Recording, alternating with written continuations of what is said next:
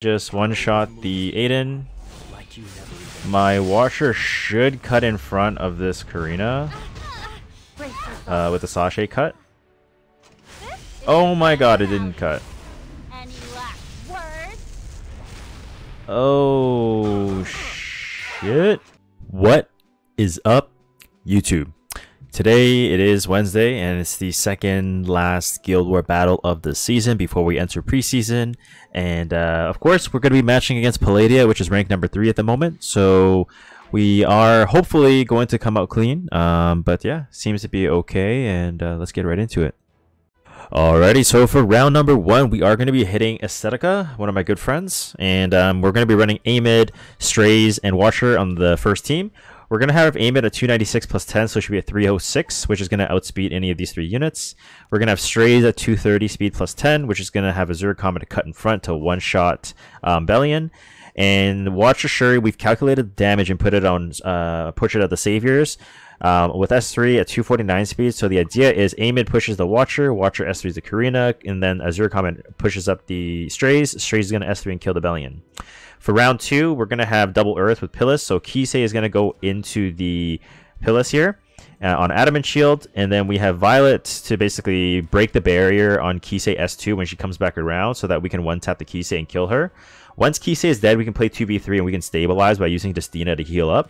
Uh, so the ideal idea here is basically Kise S3, S2 kills is the Violet. Violet has to have immunity on this comp because if it goes into like, a, you know, Kise into A Tywin, defense break into Lilias, um, it could be bad, right? So we have to have immunity on the Violet to ensure that we don't get one shot by the Lilias S3 uh, in case the A Tywin is fast, right? So assuming everything goes to plan, this should be okay. So let's go right into it. All right, so we take the speeds. I was a little bit nervous there. I'm not gonna lie, and I, I know you'll be watching this uh, this video and watching the attack. So, or you might regret it. oh, we're both at 100, but that's fine. We're going to push. Let's push the Watcher Schuri. The damage calc that I put up earlier was without attack buff, but this for sure kills Karina. She's dead. 30k. S3 goes on to the Bellion here. Mature sunglasses. So, 20... So, Bellion live with like, what, 5k HP, maybe? Uh, but that's okay, because my Watcher's to cut in front, so it's all good. We one-tap the Bellion, one-tap the... Um, I almost called that the Aesthetica. It's because, like, that's the profile that they use. Um, we, we one tap the Briar, and that's good.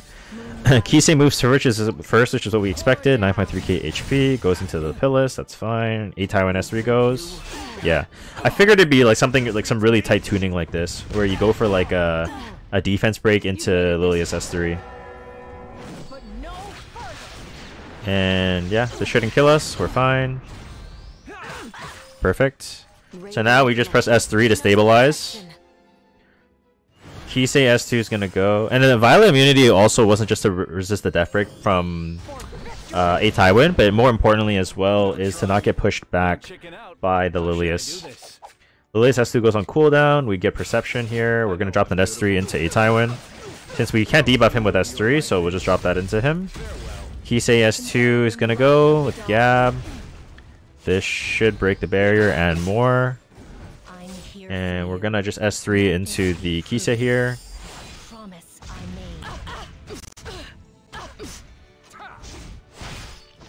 And just for safe measure, we're gonna push the Violet up. And we're just gonna tap the Kise because that's the only threat in this defense. And I, I think because this is a high effectiveness uh, A Tywin, I don't really think there's any lose condition anymore here. Uh, since all we're going to do now is just blitz down the Lilias slowly over time.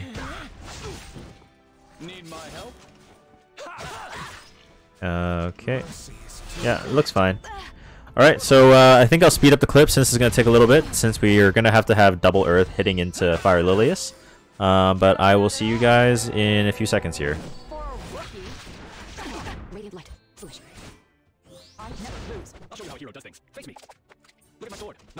My sword. Pierce your heart. I will protect them, no matter what. This way. Don't be afraid. I know I'm beautiful. Would you? Attack. In the light's name, Radiant One, for a miracle. Still a long way to go. This way. Need my help? And better move. Radiant light. Beast of the West. It's not too late. Just wait for your life. You nailed it? Watch and learn. In the light's name, come to me. Sure. I'm here for you. People I love. I won't lose them. I'll have you kneel on this sword. For victory! Foolish.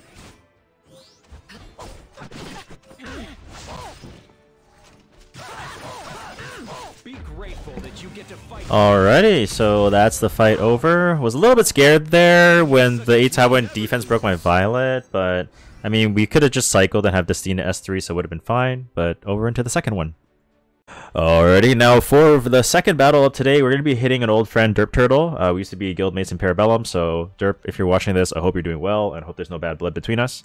Um, but anyhow, we're going to be doing Ran first, uh, which is 309 plus 10 from the Cidd, so 3, 319 Ran.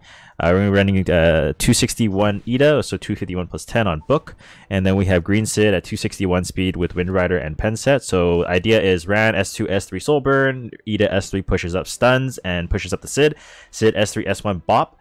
And then Zahhak on uh, on the bottom team here uh, at 287 speed on Symbol and the attack buff EE. Uh, we have damage calculated this to kill a Proof of Valor Adin. So you will see it on screen now. And um, with this as well, we have to damage calculate um, as well in case the Adin cuts us, right? So what if it's a you know two a 300 Adin, right? So we've damage calculated this so that this Inferno Kawazu is going to survive a 4K 300 pen set, Torrent set, Gab Adin with Sword of Cycling Seasons, which you'll see on screen now. And I doubt that it's going to be a 300 Adin with those stats, but we have to overshoot just to make sure that we don't, you know, fuck things up. Um, and then we have protection set on Aras with Aurius to provide extra survivability for the Inferno Kawazu. And assuming everything goes to plan, it should be a pretty clean fight. Let's go right into it. How should we do this? Alright, so we take the speeds, 7% behind. Now we do the S3. Probably Secret Art Sword Storm or Storm Sword. Oh, it's not. You're gonna regret this. Alright, well if that's not the case, we still S3 Soul Burn. Determined in an instant. Okay, defense break. And then Rand's, uh, sorry, Ida's gonna S3 to stun and push up the Cidd. Now you you might be wondering, oh, what if it's Snow Crystal? Well, it's it's defense broken, so it's dead. And I have attack buff. That's dead. Boom. Bada bing. Bada boom. Bop. Clean. Alright, second attack. So it's Rand moves first into Briar into Adin, so 10.1k HP. Silver Rain on Ran. Make sure we take the speeds for this team as well. Perfect. So this cuts 287. Take the screenshot. We're gonna push up the Inferno Kawazu, and then we're gonna one-shot the Adin here.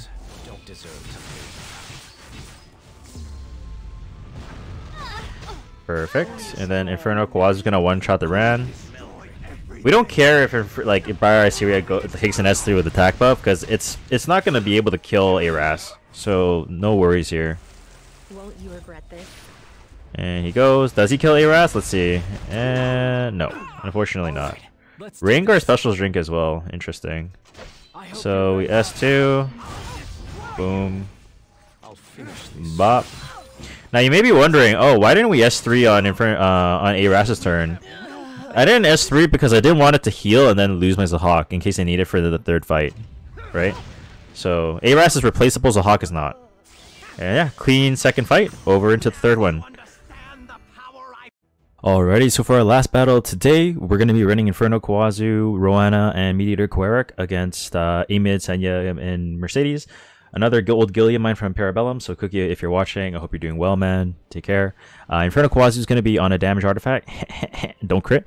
Uh, immunity EE is not. Uh, sorry, immunity EE, immunity set is not required, but I have it. Uh, and Mediator Queric is at 232 speed, 124 ER, not needed as well, but just POV. I didn't want to change any gear on him. And then Roana is just on standard immunity Celestine, so we don't get automatically provoked on turn one by the Senya. Um, basically, just kill the Senya first, and then it's a heal against the Mercedes, and it's just bang, bang, bang, free healing from Magic for Friends and counters and all that. Uh, R2, I'm going to be running a 287 Hawk with 10 speed imprint, so it's 297. Uh, the idea here is we're going to one-shot the Adin, even if it's on Proof of Valor, it's going to die. We're going to have a 249 Watcher on Sasha with the S2 push from Zahhak to S2 push, and Sasha push. It's going to cut and kill the Karina. And then we have Yuha on immunity so that we can just tank the Winter, NES3, NES1s nonstop. And on Holy Sack in case we get any danger of any sort. I don't think it's really needed, but she's just here to tank the aggro. And then after these two are dead, we just 1v3 and that's it. And let's get right into it.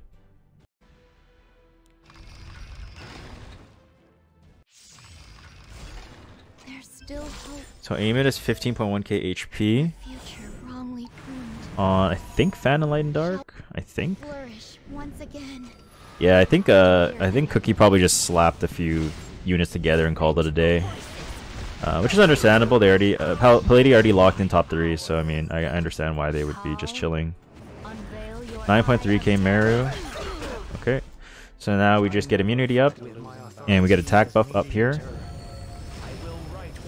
and then we drop an S3 from our Inferno Kawazu onto the Senya.